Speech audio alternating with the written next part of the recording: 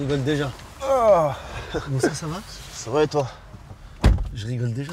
Ah ouais? Tu m'as fait un regard. Non, t'inquiète, il n'y a, a pas de Non, mais tu m'as fait le regard du buteur. Le regard du tueur? Non. Ah oui, du tueur. Du tueur. Tu le travailles ou tu le travailles pas, ce regard? Franchement, je fais pas exprès. Non? Non. Mais tu l'as revu quand même. Oui, Tu vois, c'est le- Ah oui, je le vois. Mais carrément, quand je le vois, quand je le vois, ça me fait, rire- ça me fait rire moi-même. Parce que tu dire. te sais. Je le sais et... ça me fait rire parce que je fais des têtes de fou. T'es un joueur comment, toi, sur le, sur le terrain? Sur Comment le tu te définirais? Moi, je suis un joueur, euh, je suis calme, Mhm. concentré Ouais. et euh, j'ai mon objectif en tête. hein. Après, Calme? de- Calme, ça veut pas dire que t'as pas de caractère. Non, ça veut pas dire ça. C'est juste que j'essaie de, j'essaie de pas perdre d'énergie dans les futilités. Ouais. Parce qu'au fond, je suis, je suis un nerveux, mais je- j'essaie de rester calme. En fait, t'es nerveux que dans les yeux. Tu concentres tout. tu concentres tout dans le regard de tueur. Tu te rappelles de tes, de tes premiers pas au, au foot? Ça se passait du côté de, de Cergy dans le 95, dans le Val d'Oise. Ouais. T'étais quoi comme, euh, comme enfant? T'étais quel genre d'enfant par rapport au foot? Un passionné. Passionné, bah, de toute façon, on a tous commencé le foot parce qu'on aimait le foot. Et euh, ça reste du plaisir avant tout. Donc, euh, donc non, j'étais un passionné, je kiffais ce que je faisais. J'aimais marquer des buts, m'amuser, faire des qualifs. Les actions, les 1 contre Des actions, 1. des un contre un, des, des goals à goal, tu vois. Et euh, non, j'étais... J'aimais le foot. À quel âge t'arrives au PSG Je suis arrivé au PSG en 2004, moi. Oui, J'avais 8 ans. vous avez une génération de folie. Hum, hum, hum. Sur. euh, alors, toi, ton année de naissance, 80, 96. 96. Ouais. Rabiot, 80, 80, 95, mais on joue ensemble. mais il était surclassé. Ouais. Kingsley Coman, Kingsley, ouais. euh, il m'en manque un. Mike Maignan. Mike Maignan. Presnel, Kimpembe. Presnel Kimpembe. Vous avez gagné tous les tournois et tous les matchs que vous avez fait chez les Ouais, jeunes. franchement, on a beaucoup gagné. On a beaucoup, beaucoup gagné. Et non, après, on était, on avait, on était comme une bande de potes, de Ouais. toute façon. Vous avez fait toutes les équipes de France de jeunes ensemble en plus. Ouais. Toutes les équipes de France, après, certains sont à l'ANRA, tu vois, chacun sa, sa trajectoire, mais euh, ouais, on, a, on a grandi ensemble.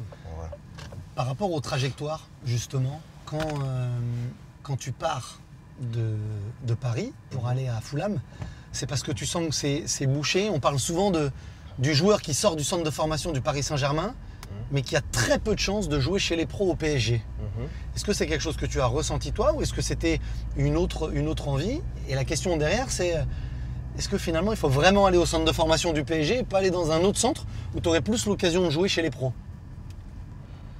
Euh, bah déjà, je l'ai ressenti.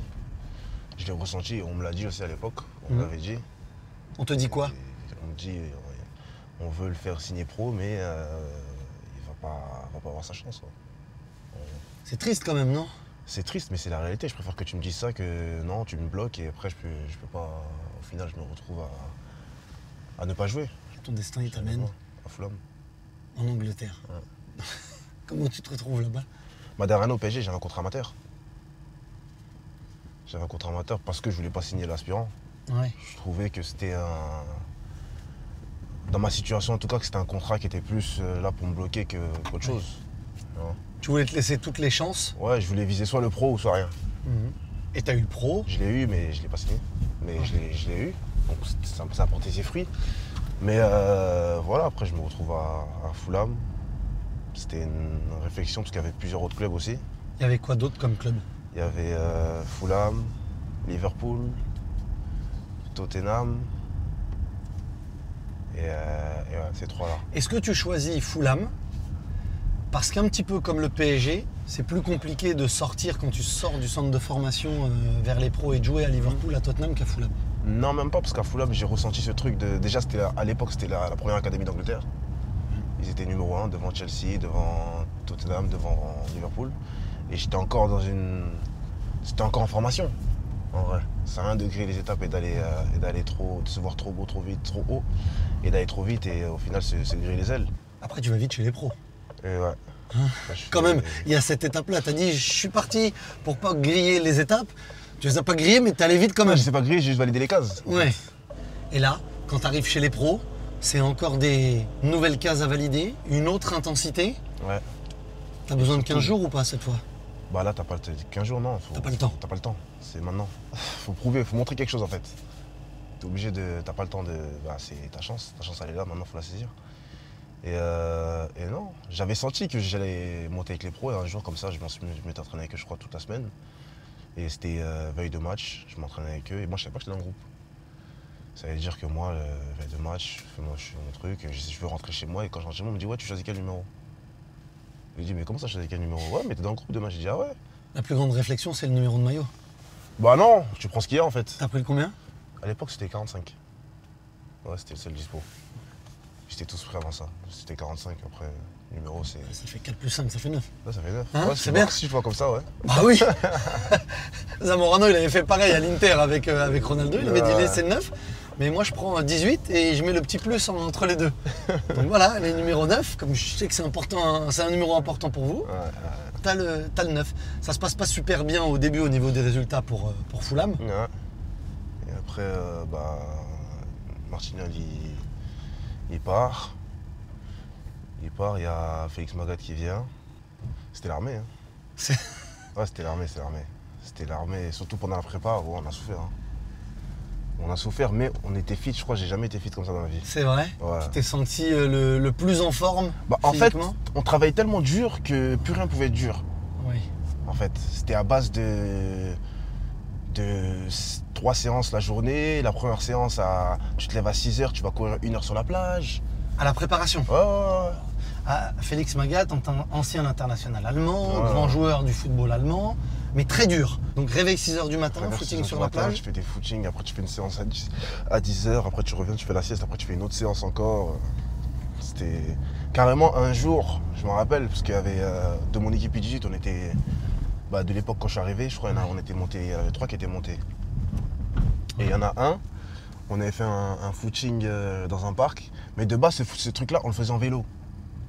Et là, vous l'avez fait à la course à pied. Ouais, de base, on le faisait en vélo. Et quand tu le fais en vélo, déjà, c'est dur. déjà. Mais là, on l'a fait à pied. On l'a fait à pied. Et euh, de toute façon, tu connais quand tu es jeune, tu peux pas, tu peux pas, te, tu, tu peux pas lâcher. Tu te dis non, c'est pas possible. Toi, t'as pas le droit. En fait, il travaille le mental, je pense. Je pense qu'il fait exprès, il travaille le mental. Ouais. Est-ce que c'est là où tu t'es senti le plus fort? Ou est-ce que c'est au Celtic? C'est par période, je dirais. Euh, à Fulham, à cette époque-là, bah déjà, début de saison, j'étais pas censé jouer. Ouais. J'étais pas censé jouer parce qu'il y avait un, un autre attaquant qui jouait à ma, à ma- à ma place. Ça veut dire que j'allais presque partir même. D'accord. Mais au final, je suis resté. J'ai décidé de, de rester. J'ai dit, vas-y, je vais me battre pour ma place, tout ça. Et euh, trois, premiers, trois premiers matchs de la saison, je joue pas. Et après, l'autre, bah, il se blesse. Je joue et je sors plus de l'équipe. Est-ce que c'est ça, ce côté mental, psychologique, cette force, qui fait qu'à un moment, un joueur euh, devient plus fort individuellement, mais plus fort que les autres aussi Bah, ça, fait, ça en fait partie. Tu vois, le, le mental, il a une, une grande part dans, dans la réussite d'un joueur. Je pense que le foot, c'est pas toujours tout beau, tout rose. Il y a des hauts et il y a des bas, tu vois. Mais euh, le truc, c'est que quand t'es en bas, faut pas te. Attention. Quand t'es- Et- et- alors, je fais une parenthèse sur le centre-ville de Lyon. T'habites pas dans le centre-ville de Lyon Non, non, non, moi je fais pas. très moi. bien choisi. Ouais, je pas, je pas. Non, mais déjà, c'est les feux les plus longs du monde. Non, je pas, je pas. Tu viens un petit peu dans le centre-ville C'est rare, hein. suis- moi je suis très casanier. Ouais. Ouais, je suis souvent chez moi. Entraînement, maison, entraînement, maison, entraînement, maison. Tu fais quoi en dehors du foot quand tu es à dors. la maison Je dors, je regarde des séries, euh, je joue à la play de temps en temps, Ouais. je regarde du foot à la télé. Tu regardes beaucoup de foot Ouais, beaucoup, beaucoup, beaucoup. Tu, tu regardes quoi en particulier? Je regarde tout, C'est vrai? Tout, tout, tout, tout, tout. Les matchs euh, Ligue 1, Ligue 2, Serie A, euh, D'accord. des fois Championship. euh, Est-ce que tu regardes les matchs quand ils sont en direct ou est-ce que ça t'arrive de te faire un match en, en replay parce que. Moi j'aime bien regarder en direct, en direct parce qu'en replay, ce qui m'est. Enfin, à part si c'est un match vraiment. Un match qui est de foot, tu vois. Ouais. Mais sinon, j'aime bien regarder en direct parce que moi, c'est comme les séries, j'aime pas me faire spoiler. T'arrives au Celtic. J'arrive au Celtic. Qu'est-ce qui te fait prendre conscience que c'est un grand club, que tu es dans une autre dimension? On rentre euh, de l'échauffement, déjà, l'échauffement, c'est plein. Ouais. J'ai dit, mais oh, qu'est-ce que c'est que ça? Donc, on rentre de l'échauffement. On entend dans le vestiaire, tu entends une colonne, mais tu l'entends de, de- de- du vestiaire. En entrant. J'ai dit, ah ouais, là, c'est chaud, là. Dans ma tête, je me suis dit, ah ouais, je suis vraiment arrivé dans un, dans un club euh, différent. Ouais, je vais dire ça, différent. Et après, bah, on, rentre dans- on rentre sur le stade, tout ça. Et là, ils le, là, ils le mettent maintenant, ils mettent, euh, mettent, euh, la chanson, tout ça. Et les supporters, ils se mettent à, chan- à crier. Non, c'est même pas chanter, c'est crier. Ouais. À crier. Et ça, ça- c'était comme s'il y avait de l'électricité dans le stade. Tu sentais vraiment, tu vois, quand on dit c'est électrique, tu le, tu le sens vraiment. Et euh, moi, je suis là, moi, je suis. T'as vu, il y a le match, mais moi, je calcule même pas le match. Moi, j'ai oublié Bah le match. oui, c'est ton moi, je- premier. Je, regarde comme ça, je regarde en l'air, tout ça, et l'attaquant me dit Allez, bienvenue, bienvenue à Celtic, bienvenue au Celtic. Je regarde, j'ai dit Ah ouais, non, c'est trop. Sur un, un Old Firm, c'est comme ça qu'on appelle le derby entre, euh, entre Ouais. le Celtic et les, et les Rangers. Ouais. Vous gagnez 5-1 Mhm. et tu réalises quelque chose euh, que personne n'a fait euh, depuis, euh, Depuis Harry Wood. depuis cinq- 50 ans? Ouais, 50. 1966-2016. Tu mets un triplé. Mhm, mhm, mhm. Vous gagnez 5-1. Une passe aussi. Voilà. T'as raison, t'as raison. Je vais mettre en plaçant, la semaine passe, tout ça. Et euh, le mercredi, je crois, le match c'est samedi, le mercredi, l'attaquant qui devait jouer, il se blesse. Il se blesse au mollet. Maintenant, quand il se blesse au mollet, euh, euh, les, les- les- les joueurs, pas les, même mes, mes propres joueurs de mon équipe, c'était sceptique. Est-ce qu'il Mm. va vraiment pouvoir faire Est-ce qu'il va vraiment pouvoir tenir tout ça? C'était ton premier Firm Premier. Premier. Est-ce qu'il va pouvoir tenir la pression et tout On sait pas trop, etc. etc. Et moi, j'étais en détente, moi. Je me rendais pas compte encore du truc. Ouais. Je me rendais pas compte encore du truc. Ça veut dire que bah, le coach, il me dit, bah, tu vas être titulaire, tout ça. Et je me rappelle que Brendan Rodgers, bah, avant de signer, ouais. il m'avait dit, ouais, contre le Rangers, ouais, t'inquiète pas, il va marquer. C'est pas un problème, ça. Il avait dit ça Il comme m'avait ça. dit ça avant la saison. Ça veut dire qu'avant même que je signe dans le club, même. Parce que je l'avais vu, euh, je l'avais vu à Londres. Il m'avait dit ouais, le, en plus il y a Rangers, il me, il me vendait le, le- le projet, etc., etc. Il me dit Rangers et tout, t'inquiète pas, tu vas marquer contre eux, tu vas voir, ça va être, euh, ça va être incroyable et tout. Et la euh, sensation Et la sensation, non, c'est terrible. Mais en fait, après le match même, je me rendais pas encore compte de ce que j'avais fait en fait. Qu'est-ce qui t'a fait prendre conscience? Bah c'est aussi là, là. On est, ça fait combien de temps? Ça fait 6 ans, 6 ans Ouais. maintenant? On m'en parle encore. C'était une étape euh, obligatoire de, de partir du Celtic après pour ta progression, pour ton évolution? Ouais, c'est. C'était c'était la suite logique, je dirais. Même si c'est dommage. hein. J'aurais pu rester, mais après, je suis ambitieux, ça veut dire que je Ouais. vais toujours voir, euh, voir plus haut. Et, euh, et là, c'était la suite, euh, la suite logique, je dirais. J'ai connu. euh, bah, j'ai été champion avec le Celtic, j'ai gagné tous les titres. euh, j'ai connu la Champions League, j'ai mis mes premiers buts en Champions League. Et Lyon, ça a pas. Enfin, tout n'a pas été facile, Lyon. J'ai revu des, tes stats. 15 buts la première saison. 16 la deuxième, qui est une saison Covid. 21 la troisième vraie saison. Donc pas celle entre les deux, 21 buts.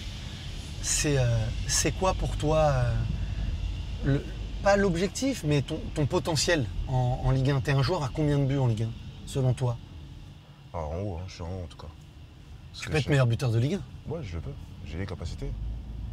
Mais après, ça, il y a plein de, plein de critères qui rentrent en compte, tu vois.